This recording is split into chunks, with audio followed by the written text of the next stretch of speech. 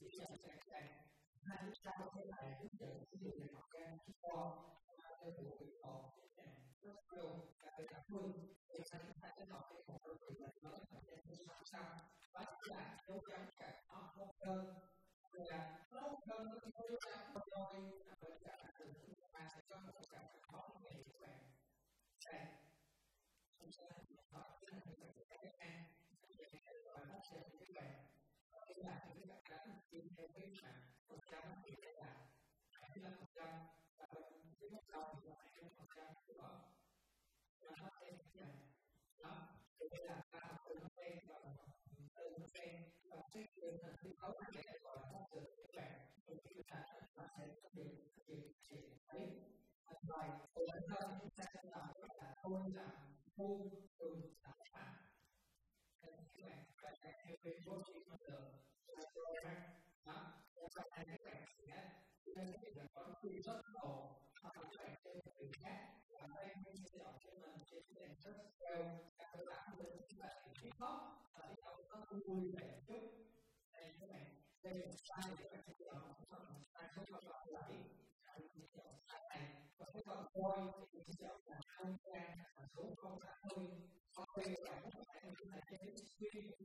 một cái chúng ta thì cũng tùy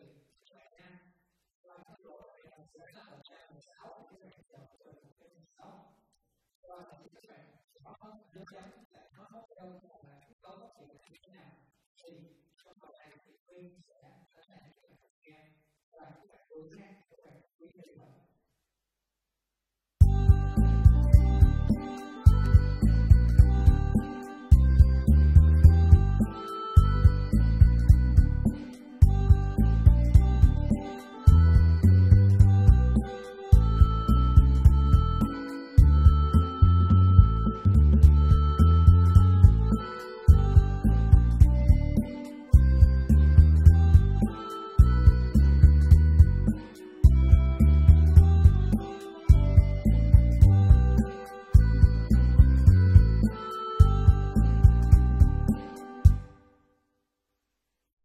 nghe xong cái bài vui của cái nào vui và từ tổng hạt thì qua bài này các bạn sẽ là quên một tấm một chuyện và các